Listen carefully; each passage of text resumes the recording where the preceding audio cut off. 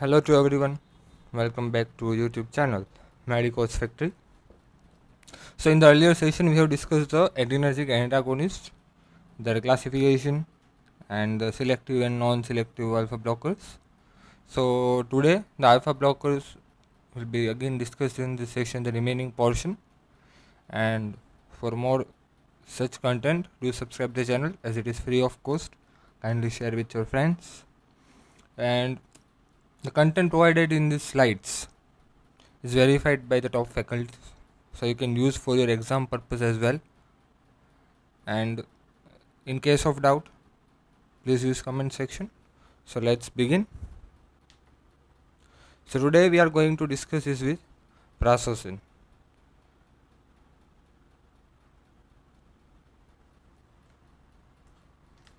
so it is a reversible alpha 1 selective antagonist and it is a prototype drug. A prototype drug means which is having a similar actions to alpha 1 selective antagonist. Clear? It dilates arterioles hence decreases the peripheral resistance. That is the resistance created by the blood vessels. And dilates arterioles more than veins and hence decreases the venous returns to the heart and overall the result will be decrease in the blood pressure clear. Tachycardia is less in the prazosin the reason is there is no alpha 2 blocking action. Because it increases the heart rate cardiac output and everything. But there is no alpha 2 block hence there is decrease in the noradrenaline release from the nerve terminal. Hence as a result of this you will find that there is a less tachycardia. There is decrease in the sympathetic outflow from the CNS that is various neurotransmitters and also there is decrease in the cardiac preload. So that is a actions of prazosin when you administer what you will find. Next is it inhibits phosphodiesterase enzyme and hence it increases the CMP pathway in the vascular smooth muscles. You know, na? CMP because it uh, it is a done by the relaxation by beta adrenergic agonist. It acts by the relaxation of beta adrenergic agonist. So it increases the relaxation in the vascular smooth muscles and hence it leads to the vasodilation. And what are the beneficial effects on the lipids when you administer the prazosin? It decreases the low density lipoprotein. It increases uh, decreases the TGS that is transglutaminase and it increases the high density lipoprotein and it blocks the alpha 1 A receptors in the bladders and prostate. Now we have discussed the alpha and beta receptors and there are two types alpha 1 and alpha 2 clear and beta is divided into three types beta 1, beta 2 and beta 3. Now these alpha 1 receptors are further divided into three subtypes alpha 1A, alpha 2 sorry alpha 1B and alpha 1 D. These are the three subtypes of these receptors and they help in the neurotransmission. These are three subtypes. There is not that much. So it blocks the alpha 1A receptor So specific these receptors are blocked in the bladder and prostate. As these receptors are blocked, it decreases the urinary flow rate. It decreases the voiding symptoms and therefore it is used in the benign prostatic hyperplasia. Remember this. BPH most of these drugs will be used in the BPH clear? Now what is the pharmacokinetics of prazosin it is well absorbed orally and the peak action is at the 1 to 3 hour and half life is 3 hour. It is highly bound to plasma protein known as alpha 1 acid glycoprotein. That is 95 percent ratio is binding to the plasma proteins and it is metabolized in liver. Most of the drugs are metabolized in liver and excreted by a kidney. Now what are the uses of prazosin first it is used in the condition hypertension. It is given orally at a bedtime evening and it is used as a second line alternative in the hypertension because first we know that highly clonidine is used in the first line agent but second line agent hypertensive is prazosin that is used in the CCF it decreases the preload and afterload and hence it decreases the pulmonary congestion because CCF is associated with the pulmonary congestion. Why? Because heart is not able to pump the blood effectively into so it the blood vessels stores the blood which is not again pumped back and therefore the increase in the pressure in the blood vessels and hence the fluid that is remaining in the blood vessels is transferred into the alveoli of the lungs and therefore it leads to the pulmonary edema or pulmonary congestion. So CCF linked with the PE.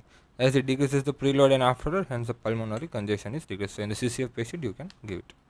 Also in the benign prostatic hyperplasia, you can give it. Off label is used, but now tamsulosin is more preferred. We have already seen this. In the variant type of angina, chest pain, it is used because it causes vasodilation. But now it is not used as the better drugs are available. In the ventricular arrhythmias, it is used. In the mitral or aortic valve insufficiency, you can use this. And in the Raynaud's disease, in the earlier session, we discussed that half of the body is felt cold and hot. And that also, you can use it, but prazosin reduces digital vasospasm. So, it is used in the Raynaud's disease. Now, what are the adverse effects when you administer? First is postural hypotension will be found. Last time we have discussed now so dizziness and fainting is, is filled at the initial dose. And that is known as first dose effect. And postural hypotension is a condition that is a low bp that happens when standing up from sitting or lying down position. And you can minimize this by starting with a low dose.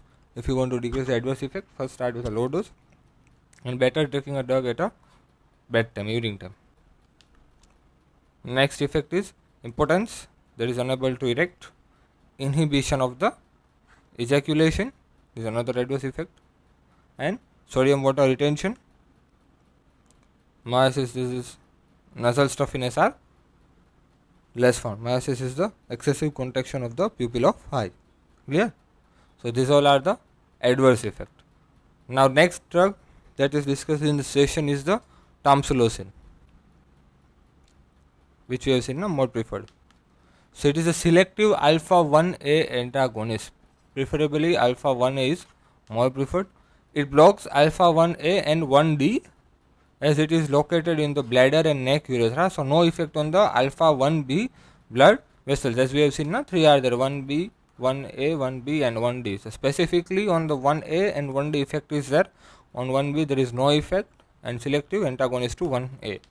So, you can say that it is specifically used in the benign prostatic hyperplasia and tamsulosin is a uroselective alpha blocker. Why uroselective alpha blocker?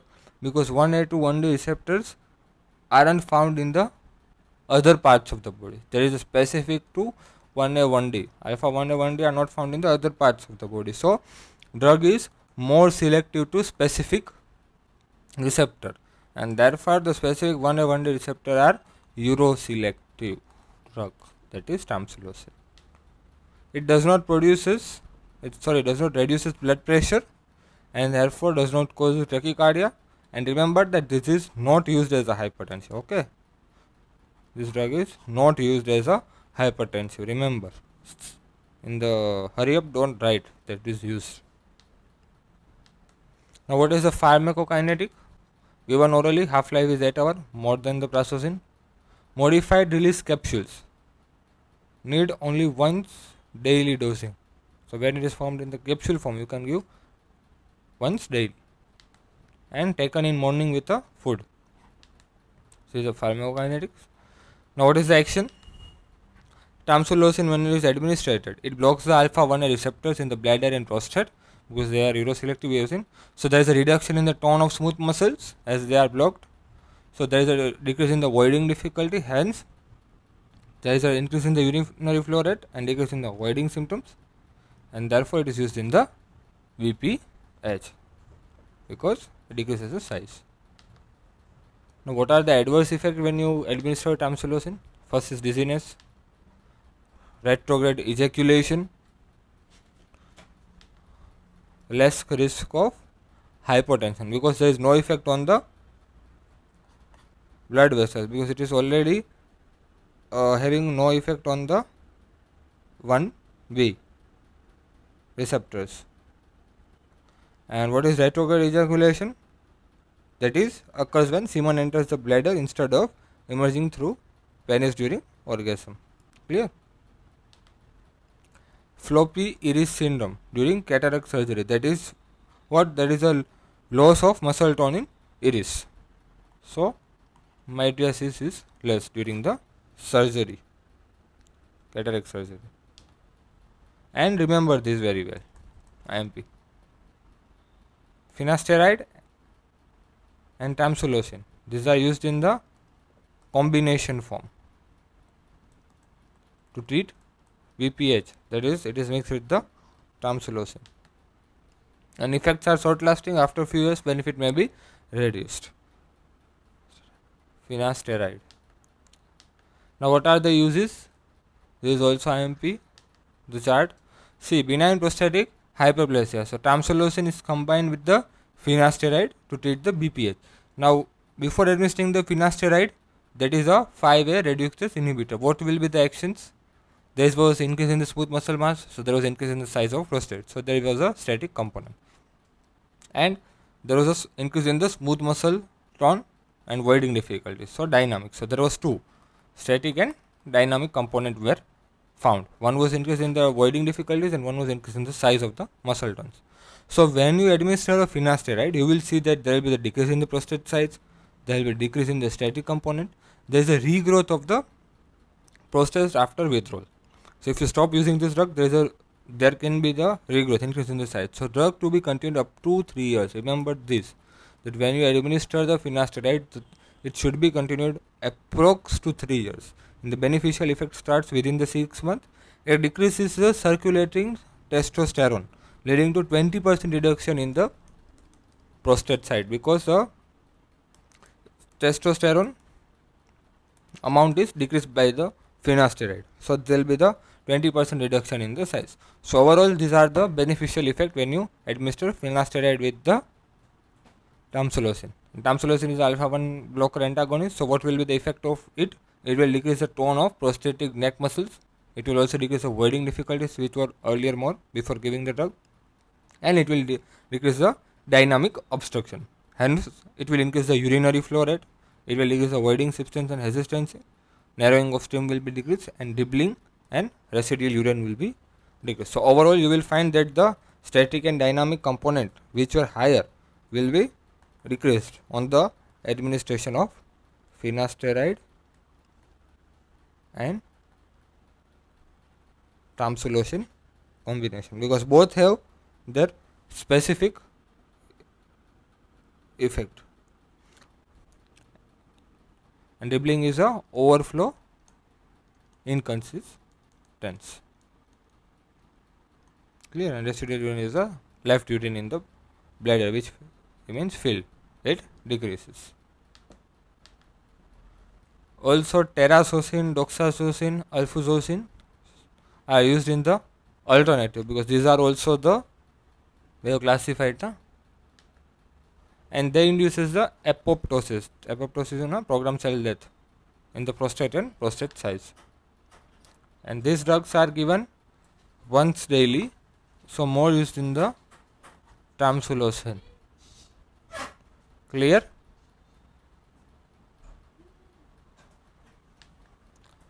And our drugs like anticholinergics opioids sympathomimetics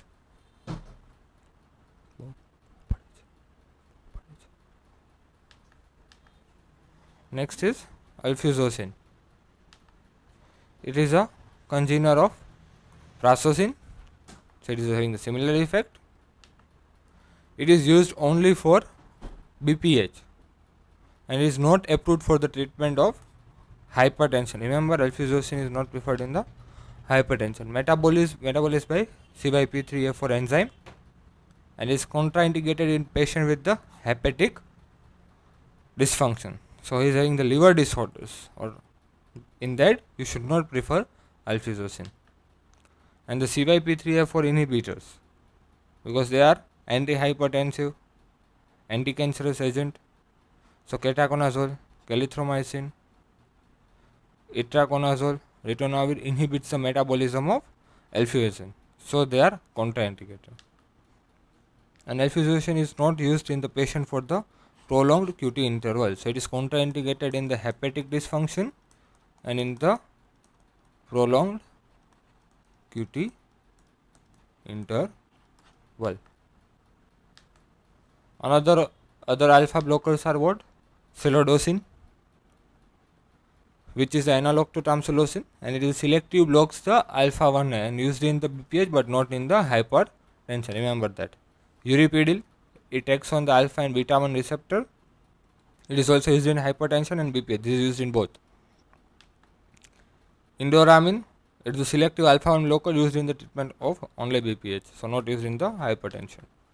Terazosin, it is similar to prazosin, has a longer duration action of the 12 hours, once daily dose, and also it is used in the hypertension and benign prostatic hyperplasia. Doxazosin, it is a congener of prazosin, half life is 20 hours, has a very long duration of action compared to terazosin and prazosin, and it is also used in the hypertension and BPH. Clear? So, these all are the other alpha blockers. Now, yohimbine is a selective alpha blocker which alpha 1 blocker that increases the NR release leading to increase in the heart rate and BP. In the past it was used in the male sexual dysfunction. Now it is used as a dietary supplement to improve sexual desires and is also approved in the veterinary medicines to reverse xylazine anesthesia. Clear?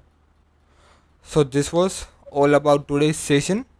Here the alpha blockers antagonist are completed. Now we will move towards the next that is beta blocker antagonist. I hope this session is helpful to you. Thank you. Have a nice day.